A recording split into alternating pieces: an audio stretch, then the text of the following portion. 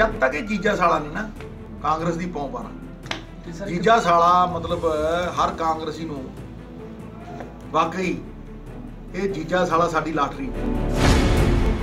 ਤੇ ਜਦੋਂ ਮੁਸੀਬਤ ਆਉਂਦੀ ਹੈ ਉਦੋਂ ਫਿਰ ਪ੍ਰੈਸ ਕਾਨਫਰੰਸ ਕਰਾਉਂਦੇ ਆ ਢੀਂਡਸਾ ਸਾਹਿਬ ਤੋਂ ਬ੍ਰਹਮਪੁਰਾ ਸਾਹਿਬ ਤੋਂ ਡਾਕਟਰ ਤੋਂ ਨਾਲੇ ਵਰਗੇ ਲੋਕਾਂ ਤੋਂ। ਅਕਾਲੀ ਦਲ ਦੇ ਟਕਸਾਲੀ ਆਗੂਆਂ ਵੱਲੋਂ ਬੀਤੇ ਦਿਨੀ ਕੀਤੀ ਗਈ ਪ੍ਰੈਸ ਕਾਨਫਰੰਸ ਨੂੰ ਲੈ ਕੇ ਕੈਬਨਿਟ ਮੰਤਰੀ ਨਵਜੋਤ ਸਿੱਧੂ ਨੇ ਇੱਕ ਵਾਰ ਫਿਰ ਅਕਾਲੀ ਦਲ ਨੂੰ ਨਿਸ਼ਾਨੇ ਤੇ ਲਿਆ ਨਵਜੋਤ ਸਿੱਧੂ ਨੇ ਕਿਹਾ ਕਿ ਅਕਾਲੀ ਦਲ ਦੀ ਮੁਖਾਲਫਤ ਹੁਣ ਚਰਮ ਸੀਮਾ ਤੇ ਪਹੁੰਚ ਚੁੱਕੀ ਹੈ।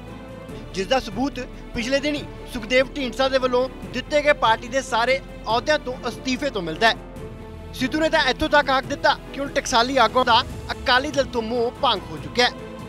ਜਿਸ ਕਰਕੇ ਅਕਾਲੀ ਦਲ ਦੇ ਸੀਨੀਅਰ ਆਗੂ ਨੀਲੀਆਂ ਪੱਗਾਂ ਬੰਨਣ ਦੀ ਬਜਾਏ ਗੁਲਾਬੀ ਪੱਗਾਂ ਬੰਨਣ ਲੱਗ ਪਏ ਨੇ। ਇਹ ਇਹ ਜਿਹੜਾ ਮਾਹੌਲ ਬਣਿਆ ਹੈ, ਇਹ ਚਰਮ ਸੀਮਾ ਹੈ ਇਹਨਾਂ ਦੀ ਮੁਖਾਲਫਤ ਦੀ। ਬ੍ਰਹਮਪੁਰਾ ਸਾਹਿਬ ਨੇ ਨੀਲੀਆਂ ਪੱਗਾਂ ਬੰਨੀਆਂ ਹੋਣ, ਛੱਡਤੀਆਂ। ਦੇਖ ਲਓ, ਪਿੰਕ ਪੱਗ ਬੰਨਦੇ ਕਦੇ ਦੇਖਿਆ ਸੀ? ਕੋਈ ਅਕਾਲੀ ਪਿੰਕ ਪੱਗ ਬੰਨਣ ਲੱਗ ਗਈ।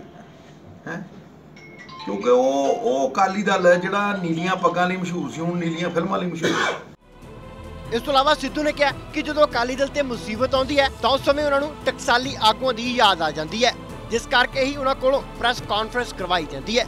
ਸਿੱਧੂ ਨੇ ਸੁਖਬੀਰ ਅਤੇ ਮਜੀਠੀਆ ਵੱਲ ਇਸ਼ਾਰਾ ਕਰਦਿਆਂ ਕਿਹਾ ਕਿ ਜਦੋਂ ਤੱਕ ਜੀਜਾ ਸਾਲਾ ਦੀ ਜੋੜੀ ਅਕਾਲੀ ਦਲ 'ਚ ਸ਼ਾਮਲ ਰਹੇਗੀ, ਤਾਂ ਉਦੋਂ ਤੱਕ ਕਾਂਗਰਸ ਦੀ ਕਦੇ ਵੀ ਹਾਰ ਨਹੀਂ ਹੋ ਸਕਦੀ।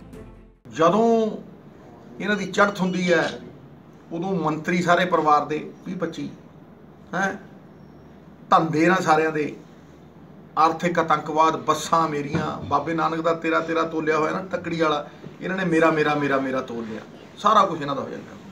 ਤੇ ਜਦੋਂ ਮੁਸੀਬਤ ਆਉਂਦੀ ਹੈ ਉਦੋਂ ਫਿਰ ਪ੍ਰੈਸ ਕਾਨਫਰੰਸ ਕਰਾਉਂਦੇ ਆ ਢੀਂਡਸਾ ਸਾਹਿਬ ਤੋਂ ਬ੍ਰਹਮਪੁਰਾ ਸਾਹਿਬ ਤੋਂ ਡਾਕਟਰ ਤੋਂ ਨਾਲੇ ਵਰਗੇ ਲੋਕਾਂ ਤੋਂ। ਤੇ ਕਦੇ ਕਦੇ ਭੁੰਦਰ ਸਾਹਿਬ ਨੂੰ ਵੀ ਫੜ ਲੈਂਦੇ। ਜਦ ਤੱਕ ਇਹ ਜੀਜਾ ਸਾਲਾ ਨਹੀਂ ਨਾ ਕਾਂਗਰਸ ਦੀ ਪੌਂ ਪਾਣਾ। ਜੀਜਾ ਸਾਲਾ ਮਤਲਬ ਹਰ ਕਾਂਗਰਸੀ ਨੂੰ ਵਾਕਈ ਇਹ ਜੀਜਾ ਸਾਲਾ ਸਾਡੀ ਲਾਟਰੀ ਨੇ। ਪਟਿਆਲਾ ਤੋਂ ਅਵਤਾਰ ਗਿੱਲ ਦੇ ਨਾਲ bureau report, Dainik Savera TV.